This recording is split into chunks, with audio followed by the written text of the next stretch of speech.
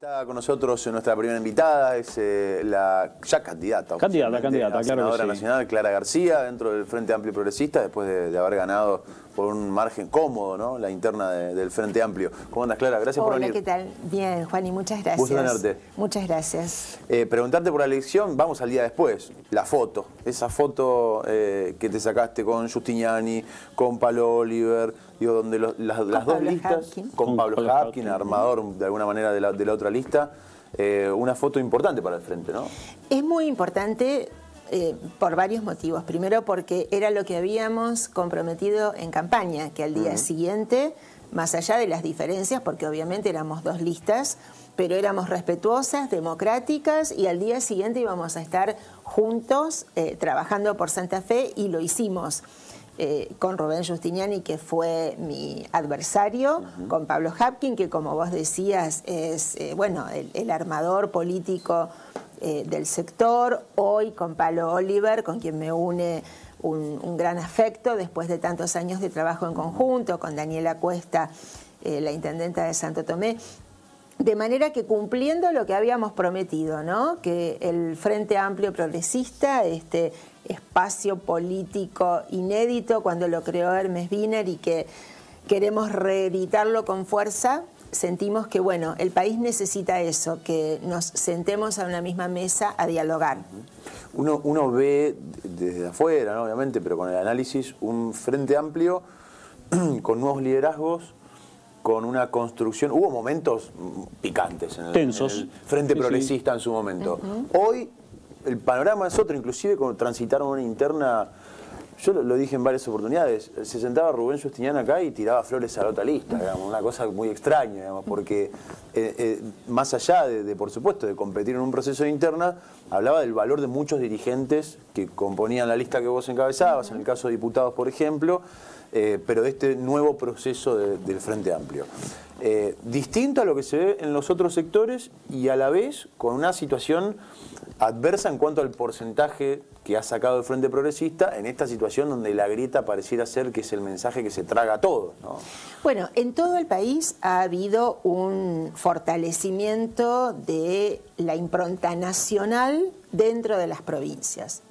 El hecho de que 17 provincias le hayan dado la espalda al gobierno nacional habla de cuánto pesó eh, estas malas circunstancias de las cuales hablábamos que trajo la pandemia, pero trajo la ineficiencia de un gobierno el mayor desempleo, una inflación terrible, eh, que quien tiene trabajo no te esté alcanzando, el sector productivo eh, con cimbronazos golpeado.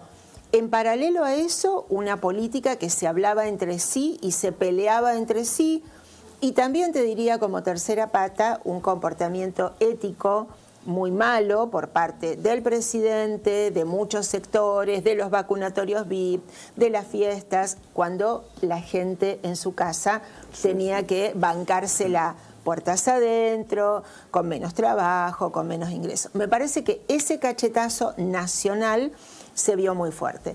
En medio de eso, el Frente Amplio Progresista sigue vivo, estamos, vos lo dijiste, la verdad que nuestra lista ganó con más del doble de los votos de la otra propuesta, de manera que nos da, bueno, toda la alternativa de, de- de seguir adelante con fuerza para noviembre.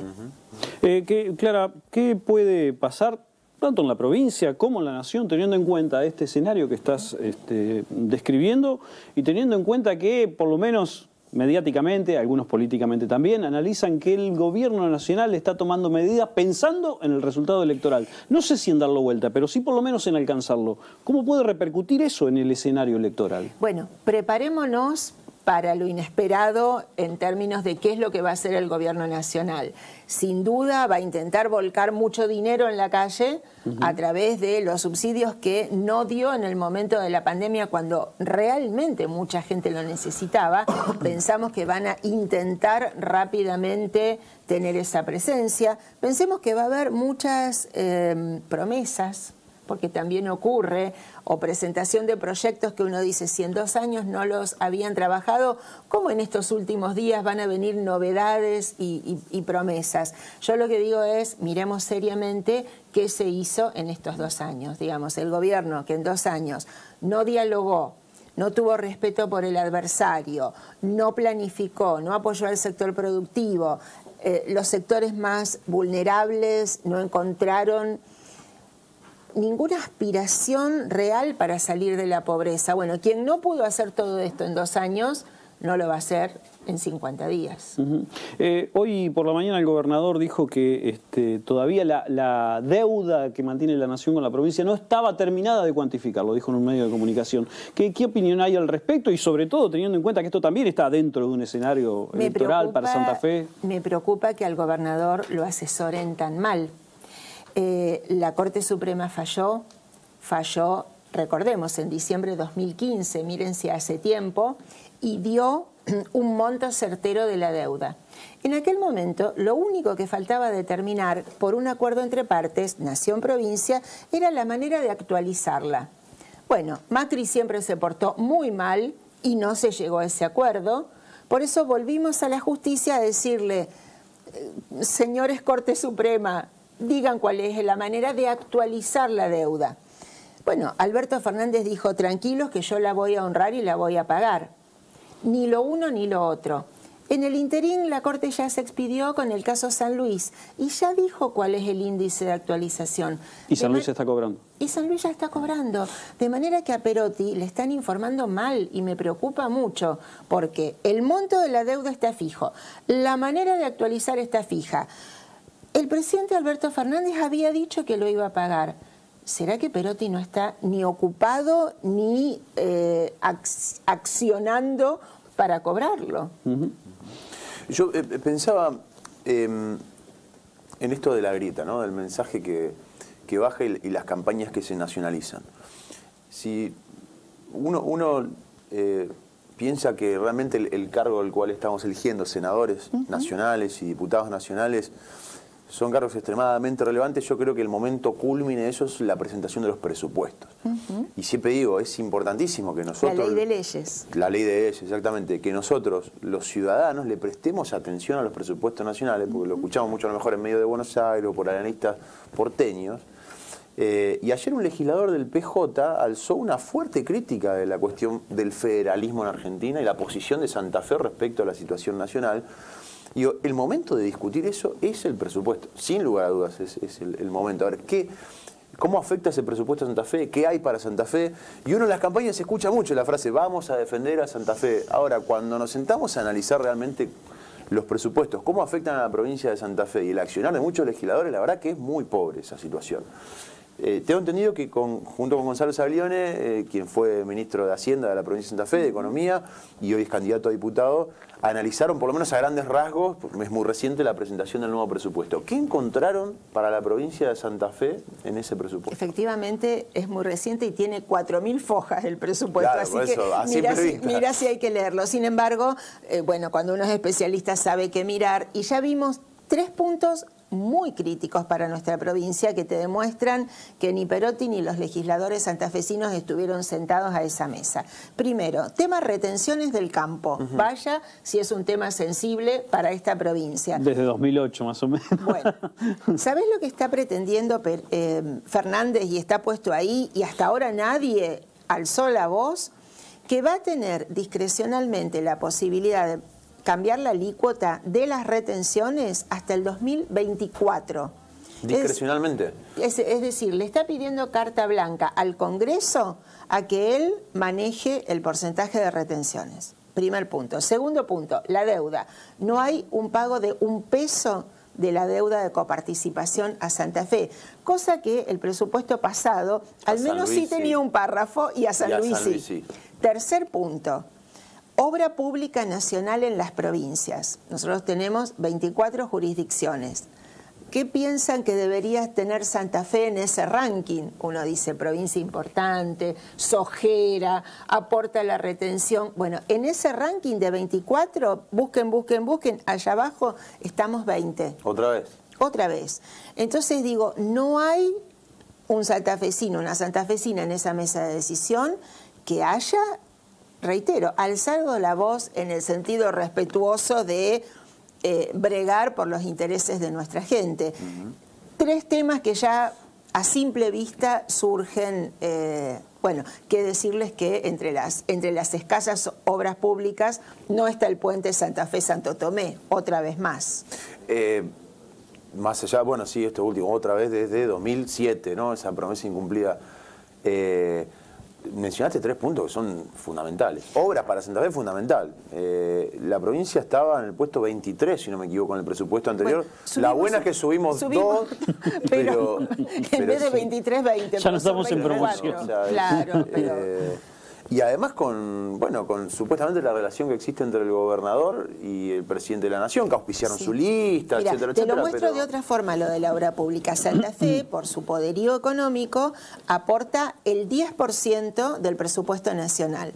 Bueno, vuelve 2,7. O sea, cada 10 que mandamos, van a volver 2,7. Eso es un federalismo invertido. Antes hablábamos también de, este tema, ¿no? Eh, ¿Puede ser que el interior del país solvente a la capital federal es absolutamente al revés de como debería ser? Eh, una, pregunta más política, analizando también el panorama de, elección. Eh, en, la lista que vos encabezás está el equipo de Miguel Lichet, indudablemente los ministros, salvo, bueno, Puyaro, que fue con el radicalismo en su decisión nacional. Eh, y, la reconfiguración también del frente, algunos propusieron en, algún momento un frente de frentes amplio, con el PRO, con todo lo que sea, frente al peronismo. ¿Qué visión tenés vos particularmente de, más allá de esta elección y de que la decisión del frente está tomada claramente, pero de empezar a pensar nuevamente o retomar los caminos de un frente que incluya todo lo que no es el peronismo? Yo te diría, eh, depende para qué es esa unión. Si es simplemente para ir en contra de, ya vimos los resultados muy malos del gobierno de Macri. También era una conjunción de gente en contra de, y la verdad que gobernaron horrible, gobernaron muy mal. Ahora, si la unión es con un programa de trabajo, con valores éticos compartidos, con un objetivo que trascienda el mero hecho de ganar una elección, Ahora, lo que hemos visto en, estas, en estos rejuntes en contra de es que todos los temas eh, importantes, estructurales, después le impide sentarte a la mesa para trabajarlos. Porque digo, si mi función es unirme con él en contra tuya, y después tenemos que pensar la educación de los próximos 10 años, eh, el, incentivo a la producción armando una matriz productiva potente y eso te implica modificaciones. Si, si, todo lo que hicimos él y yo es trabajar en contra tuya para destruirte, ¿cómo después te sentás en una mesa a encontrar acuerdos? Entonces yo digo, está bien unirse, está bien que vayamos juntos con votos. Ahora, no me gusta la idea de hacerlo solo para el día siguiente haber dicho maté a mi adversario, porque hemos visto muchos muertos que gozan de buena salud. Malas experiencias. Eh, sumo, sumo, una más que tiene que ver con, esto que en algunos casos se denomina el porteño centrismo. Ayer le preguntábamos a, Leandro Busato, diputado provincial, y, él decía específicamente un país pensado así como está, eh, que tiene atención solamente en capital y en el AMBA, es inviable. Este, y hay que repensar eso. ¿Coincide a, grosso modo con esa, con esa visión? Sin duda, es un tema, te diría, histórico. Somos un país federal en, el nombre de, nuestra definición política, pero somos unitario en gran cantidad de decisiones. Y la verdad que creo que... No solo económicas como la que recién mencionabas, te sino... unas económicas, pero también de entendimiento de la identidad. Fernández tiene un gabinete con, creo que son 19 ministros ahora, de los cuales solo dos no son de Buenos Aires o de Capital Federal. Esa eh, ubicación absolutamente macrocefálica respecto de la capital hace que no entiendas a la realidad del resto del interior del país, que es muy rica, es muy diversa. Fíjate que tan diversa es dentro de la propia Santa Fe porque en el fondo, ¿qué tiene que ver un general obligado con Benautuerto? Y sin embargo, somos parte de la misma provincia, pero hay un entendimiento federal.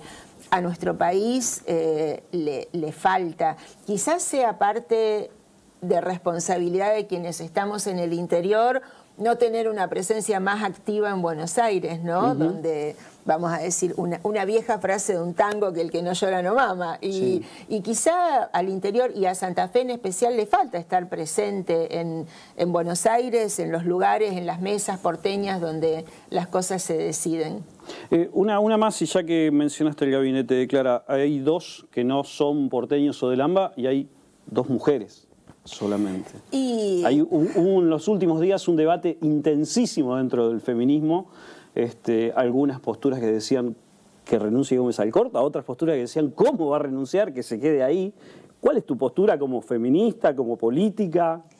Eh, no quiero echarle ni a la ministra Gómez Alcorta ni a las mujeres feministas la responsabilidad de lo que pasa, porque en todo caso sí es una responsabilidad de Alberto Fernández y de su entorno haber traicionado su palabra. Eh, y en todo caso las mujeres que forman parte de ese espacio político bueno, vaya malestar que tendrán interno y en todo caso respeto que no lo manifiesten.